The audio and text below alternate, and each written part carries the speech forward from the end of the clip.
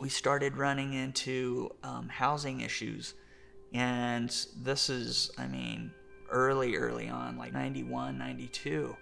And um, uh, that's when I kind of reached out to the Disabled Rights Action Committee, you know, because you start looking, and back then it was the phone book. I packed my wife and my three kids up, and we went down to a meeting, and it was at a warehouse, and um, they had a big garage door, and the whole place was filled. There must have been a hundred people with disabilities there. You know, it's interesting to meet so many people with that were having the same issues that we were. Um, it was really grassroots. It was really street level.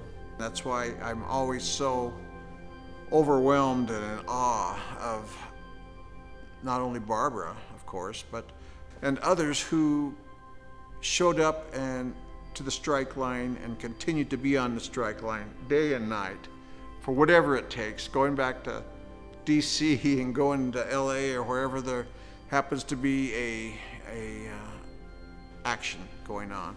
We set it up so that Barbara Toomer ran a Catholic funded program out of the Crossroads Center. This was between 85 and probably 89. She would be in her chair with, you know, in her, her, um, her assisted chair, and she was um, very articulate and very convincing and non threatening. She used to chain herself to UTA buses. That's what most, a lot of her arrests for. And then she traveled with National Adapt.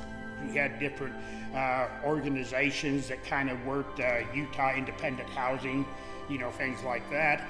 But pretty much when it came to uh, standing up for people's rights, with disabilities, Barbara was one of the few people that would actually get out there and get her face in front of everybody and tell them this is where it's got to stop.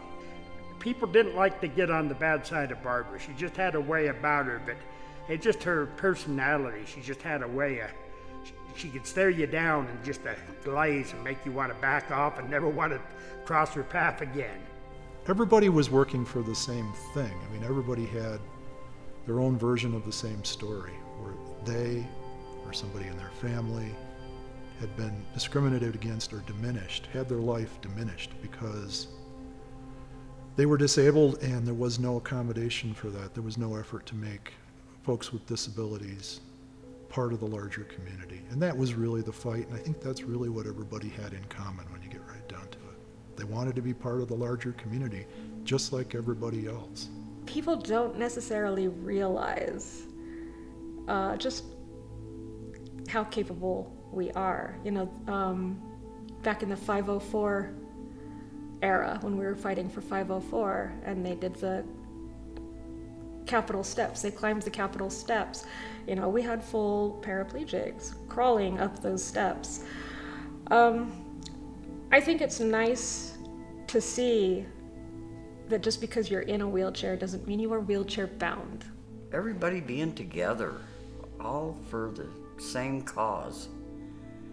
And all these different disabled people, and they really, that's quite a grueling trip to go there and do that march and go up to the capitals and and here's all these people that have disabilities and they're doing it.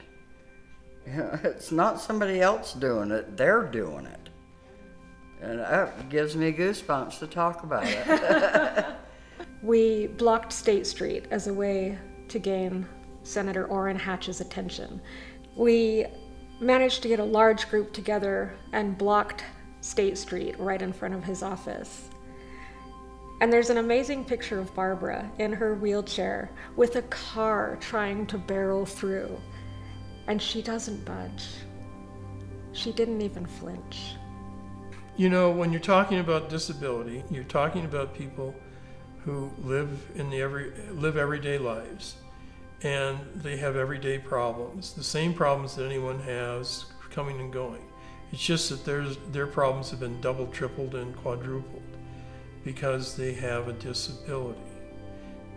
Disability is kind of weird sometimes because you can be disabled from the moment you're conceived or you can become disabled the first time six weeks before you die when you're 90 years old. And it can happen anytime in between. All we wanted to be is part of the system, not a specialty part. It's it's funny if you step back and you say, okay, the fight's over and we can sit back and relax. You can't.